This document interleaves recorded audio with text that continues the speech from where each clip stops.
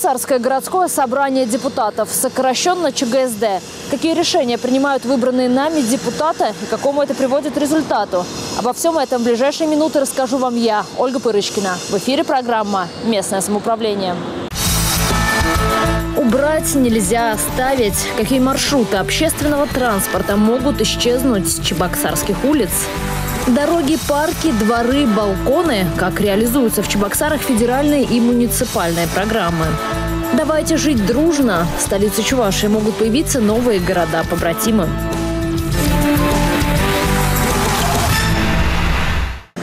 Страсти по маршруткам. Так в целом можно назвать дискуссию, которая сейчас идет в Чебоксарах вокруг изменения транспортной схемы столицы Чувашии. Подробнее в сюжете. Как избавить Чебоксара от пробок, сохранить безопасность жителей при поездках в маршрутках и тем самым улучшить транспортную ситуацию? Ответы на эти вопросы столичная администрация получила от специалистов Петербургского проектного института транспортной инфраструктуры. Ее специалисты около года изучали работу транспортной системы города, и вот их вердикт. Выработаны следующие предложения. Закрыть 20 маршрутов, в том числе Автобусные э, номер 10, 14, 16, 18, 21, 24, 34, 36, 48, 49, 50, 51, 56, 59, 60, 60К. Изменение трасс 18 маршрутов, в том числе 16 автобусных и 2 троллейбусных. А также организация одного нового троллейбусного маршрута номер 22, который у нас э, э, уже с мая месяца работает.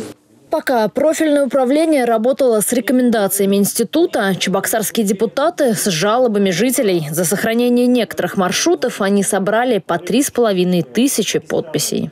Если мы убираем 60-60К, то как люди будут добираться? В любом случае э, людям придется пересаживаться на существующие маршруты, троллейбусные и автобусные. Мы понимаем, что значит, определенные неудобства, конечно, это жителям доставит. Помимо вопроса удобства, встает вопрос денежный. У людей заработная плата э, около 10 тысяч рублей. Представляете? А они некоторые работают в центре города. Как э, они будут на работу добираться? У них огромное количество денег э, будет уходить только на то, чтобы добраться на работу и уехать потом с работы. Кроме того, конечные точки многих маршрутов, попавших в список закрывающихся, это крупные предприятия города. Я хотел бы сказать про 49-й маршрут еще, это который соединяет северо-западный контур и Чапаевский завод. Значит, э, внедрили, э, было отчитались о том, что 22-й маршрут троллейбуса ввели дополнительный, новый. Но маршрут 22 только до хлебозавода доезжает. Мое личное мнение, не закрывать маршруты, а увеличивать, уменьшить количество автобусов и увеличивать, ну, запустить крупные автобусы. За заседанием комиссии ЧГСД последовали публичные слушания. О них объявили буквально за день, однако людей пришло столько, что пришлось стоять в проходах. Больше всего горожане опасаются, что в попытке избавить город от пробок и разгрузить дорожную сеть будет разрушена уже сложившаяся система перевозок, которая учитывает интересы всех микрорайонов. Один из споров вокруг маршрута номер 65. Ни одна маршрутка не дублирует 65-м, а вы его хотите закрыть. А как? У меня супруга каждый день ездит на Калининский район на работу. Вы хотите, чтобы я пере, пересаживался и платил больше денег? В список закрывающихся попали такие популярные, как 60, 60К, 49, 48 и 56 маршрутки. Жительница микрорайона Финская долина Елена не понимает, как будет выезжать в город, если их отменят. Это два маршрута, которые на сегодняшний день осуществляют перевозку из Финской долины людей а, в северо-западный район, в Новоюжный район. По всему следованию маршрута есть учебные заведения. 56-му маршруту могу сказать, что с Финской долины и из юго-западного района на сегодняшний день это единственный маршрут, который довозит людей э, до Гладкова. На Гладково находится огромный больничный комплекс. Специалисты отвечают, все на основе расчетов. Если маршрут отменяют, значит у него есть дублеры. Если посмотреть 48-й маршрут, то 48-й маршрут проходит по улицам, являющимся опорной сетью городской улично-дорожной сети с большим количеством маршрутов городского пассажирского транспорта. Это улица Гражданская, в том числе 9 маршрутов, 9 маршрутов, в том числе 2 троллейбусных. Улица Никольского, 9 маршрутов, в том числе 3 троллейбусных.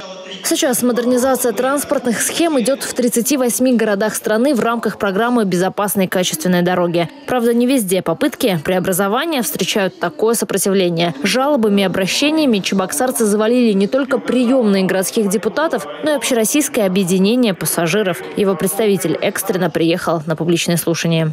Чебоксары а, долгое время уже является примером по своей транспортной инфраструктуре. И а, сейчас опросы были на сайте города, то, что довольны ли вы транспортом, 80% довольны. А, тогда возникает вопрос, а нужны ли вообще изменения? Нужно найти какое-то компромиссное решение. И опять же, это мнение надо спрашивать у жителей. Они каждый день ездят. Ситуация на контроле у Минтранса России, отметил представитель общероссийского объединения пассажиров. Что касается публичных слушаний, то в этот раз конструктивного диалога не получилось. Вопросов пока больше, чем ответов, а значит впереди серьезная работа, чтобы найти компромисс.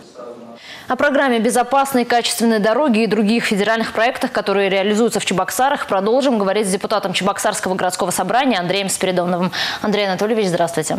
Добрый день. Ну вот в отличие от э, изменения транспортной схемы, та часть э, программы «Безопасные и качественные дороги», которая предусматривает ремонт дорог, ее горожане одобряют. А мы, да, вот когда горожане, когда ездим э, на работу, с работы видим, что ремонт идет в разных районах города. Хочется в целом посмотреть, как в городе реализуется эта программа. 737 миллионов рублей было выделено в этом году. Таких денег городской бюджет еще не видел. То, что бюджет. Городские дороги. 29 километров дорог будут отремонтированы в этом году. А, ну и в первую очередь первые лица республики, первые лица города а, упор ставят, несомненно, на качество. Потому что не хотелось бы такие деньги освоить, а, и чтобы там дороги не прослужили нормативные сроки, там, тем более гарантийный ремонт. Касаемо качества дорог, вот это несомненный приоритет, потому что мало того, что там приемочная комиссия в пять этапов проводится приемка работ. Это именно специалисты, да, профессионалы? Это именно специалисты. То есть, да, была нанята организация из Казани, имеющая все соответствующие допуски, которая, собственно, лаборатория проверяет качество выполнения работ. Так. А затем понятно, что это администрация города, да, ну, плюс заказчик. общественники, да, ведь? Вот самый важный момент – общественники. И впервые, впервые было привлечено 19 человек, это сердобольные граждане, то есть неравнодушные, которые еженедельно собираются в ЖКХ и благоустройство на совещаниях производственных и участвуют участвую довольно горячо в обсуждении всех тем, в принятии дорог.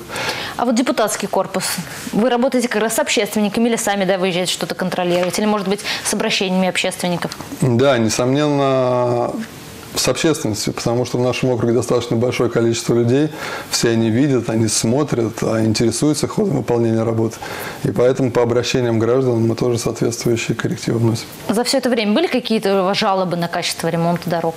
От каких-то ваших э, избирателей? В целом работа выполняется неплохо. На основании этих совещаний, на основании комиссии по городскому хозяйству, которая проводится еженедельно, мы смотрим. Да, несомненно, определенные замечания есть, но они устраняются в срок. И хотел бы добавить касаемо качества выполнения работ. Это не пустые слова, потому что в этом году три дороги после выполнения работ не были приняты заказчиком. Что теперь будут делать с этими дорогами? То есть не приняли, да в дальнейшем какие действия? Не приняли, да. То есть по двум адресам дороги а, дорожное полотно под подрядчик обязан заменить полностью. А по улице Петрова частями там, где непосредственно выявлен брак, тоже дорожное полотно срезается и кладется на новое. То есть ну, брак не пройдет. Ну, то есть брак не пройдет, качество да, город, да. в принципе, будет гарантировать. Еще один федеральный проект, который реализуется в Чебоксарах, это формирование комфортной городской среды. Преобразятся ряд парков, дворы, скверы. Вот насколько активно горожане участвуют? В первую очередь а, вся информация шла от горожан. То есть а, администрация города в начале календарного года через глав районов через депутатов а, была распространена информация. Люди, старшие по домам, активные граждане вносили свои предложения. Всего было 47 предложений, 47 дворовых территорий. Я подчеркну, это не дворов, то есть это не 47 дворов, это дворовых территорий, которые угу. включают в себя от 2 до 13 домов. То есть достаточно большой объем работы. А, так, 47, да? Да, изначально поступило на обсуждение, затем по итогам принятия бюджета, понятие количества денежных средств выделенных, это 161 миллион рублей, а, было утверждено 25 дворовых территорий и 3 общественных пространства. Так. Общественное пространство – это у нас а, площадка перед домом МОД, а, площадка перед общественным пространством перед торговым центром «Шубашкар», Так, Причем проект, это да. общественное пространство, да, оно разделено на два этапа реконструкции. Первый этап – это непосредственно освещение, укладка плитки и всего остального, а второй этап – это фонтаны.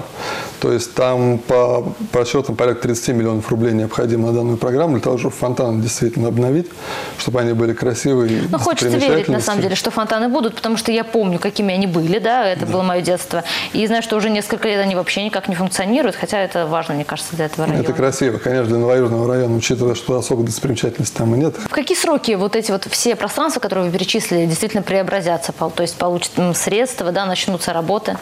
Вот 25 дворовых пространств Так. да, и 3 общественных территорий. А по ним очень жестко график ведется. А Этот вопрос постоянно на контроле главы администрации, руководства республики. Еженедельно на совещаниях этот вопрос поднимается. Проектные работы выполнены, они прошли экспертизу. Сейчас объявлен конкурс на выбор подрядчика. Вот буквально на днях уже должен определиться подрядчик. Срок выполнения работы там в районе 90 дней, то есть в середине осени работа должны быть уже Ну, осталось, в общем, только сделать, да, все уже посчитано, разработано. Осталось сделать, да, проконтролировать, чтобы выполнено было качественно и наслаждаться полученным результатом. Еще вопрос. А вот для людей какие условия участия в проекте? Это, видимо, какое-то софинансирование? Или, может быть, участие, не знаю, там, посадить цветочки, да, около собственного подъезда? Да, учитывая то, что с финансированием, безусловно, с финансированием, но крайне несущественно. Это 3% от стоимости ремонта. То есть, условно, если дворовая территория нуждается в ремонте на сумму 3 миллиона рублей, то это 90 тысяч рублей. А если учесть, что это 2-3 дома, то там выходит на квартиру там, по 500, по 700 рублей.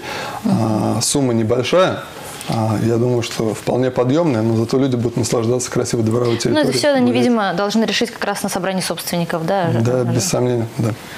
Преображаются дворы, ремонтируются дороги. Еще одна программа – это уже городская муниципальная программа – это ремонт балконов. Что здесь у нас по программе?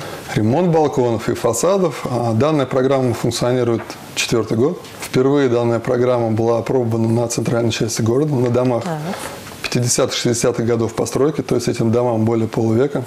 А, Тут на самом деле этой программой решалось два вопроса. Первый вопрос это в первую очередь безопасность, так Да, как балконные плиты надолго. разрушались, да, они уже доводили до того. Это в бытность еще работа управляющей компании, я как раз работал в этой управляющей компании. Постоянно поступали жалобы о том, что и аварийные ситуации случались. А, то есть восстанавливаются балконные плиты для того, чтобы не было дальнейшего разрушения. И полностью меняется ограждение, меняется пластиковое остекление. То есть эстетично и красиво, и в первую очередь безопасно. Ну да, приводим к единообразию, да, тоже на что очень долго жаловались архитекторы, что каждый застекляет на свой, ну там, на свой вкус, да, в итоге э, фасад, облик здания портится. Абсолютно верно. Если учесть, что это центральная часть города, это, можно сказать, наша визитная карточка, она должна быть в едином стиле. Начали с центральной части города, дальше какие планы программы, куда идем дальше? А, В первую очередь центральная часть города, то есть это проспект Ленина, улица Гагарина, улица Энгельса, это те дома, которые на виду. Ну и дальше по мере данную программу на депутатском корпусе на комиссии по городскому хозяйству обсуждают ежегодно, то есть прекращать ее не собираются, а на этом ставят ежегодный акцент. В этом году это четыре адреса. А, Это улица Энгельса, это улица Николаева, улица Маршака. То есть, я думаю, на следующий год также будет принято несколько адресов, и данная программа будет продолжена. Ну, все-таки это, видимо, дома, которые все-таки расположены, да, вдоль основных магистралей городских, которые на виду действительно не спальный В район. первую очередь хотелось бы, да. Но по мере мы будем стараться в большее количество домов захватить. Итак, в городе у нас дороги ремонтируются, парки, дворы преображаются, балконы мы начали делать, да. А вот вы, как депутат, как думаете, какую бы еще вам хотелось а, начать в Чебоксарах программу? Что бы еще хотелось изменить в городе? Немножко комплекс, немножко более обширно посмотреть на этот вопрос. У нас очень сильно в стране развивается внутренний туризм, да, и на этом поставлен акцент федеральных властей. А наш город так и называют жемчужный Поволжье, да, туристический кластер, наверное, будущее. Я думаю, в этом направлении нужно развиваться. Что нужно? Ну, безусловно, это инфраструктура в первую очередь. А, кстати, я вот хочу добавить третий как раз объект общественного пространства. Это сквер имени Константина Иванова, в который 44 миллиона выделено в этом году. Он должен преобразиться до неузнаваемости, учитывая, что это туристический маршрут. Спасибо. Я напоминаю, мы беседовали с депутатом Чебоксарского городского собрания Андреем Спиридоновым. Чебоксары могут установить побратимские отношения с двумя новыми городами. Это китайский Хэфэй и японский Нагасаки. Этот вопрос рассмотрели чебоксарские депутаты на заседании Президиума городского собрания. Окончательное решение народные избранники примут на одном из ближайших заседаний. Побратимское движение позволяет на взаимных условиях знакомиться с жизнью, историей, культурой, традициями и обычаями других городов и народов, экономическим и научно-техническим потенциалом регионов. На сегодняшний день Чебоксары имеют побратимские отношения с четырьмя городами. Это белорусский Гродно, венгерский Эгер, город Рунду в Намибии и Санта-Клара на Кубе. Это была программа «Местное самоуправление». До свидания.